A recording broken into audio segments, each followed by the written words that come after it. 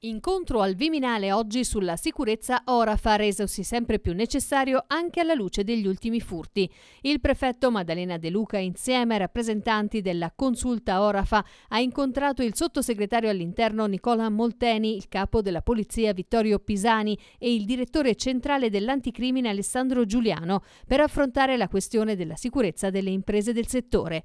Presente anche l'onorevole Tiziana Nesini.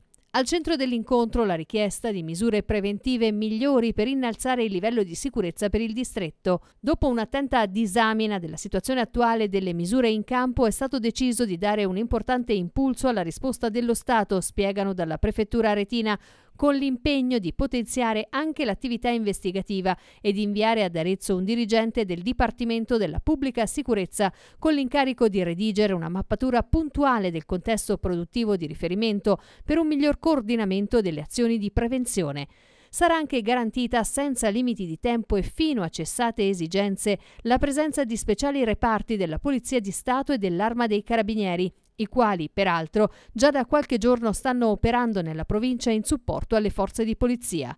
È stato inoltre preso l'importante impegno ad attuare nel quadro generale un rafforzamento degli organici delle stesse forze di polizia che tenga in considerazione la specificità del territorio aretino, caratterizzato appunto dalla presenza del primo distretto orafo in Italia e in Europa. Riunione soddisfacente, confermano ancora i presenti, che ha riaffermato la volontà delle istituzioni di affrontare concretamente la questione per dare una risposta tangibile ed efficace agli imprenditori e all'intera comunità aretina.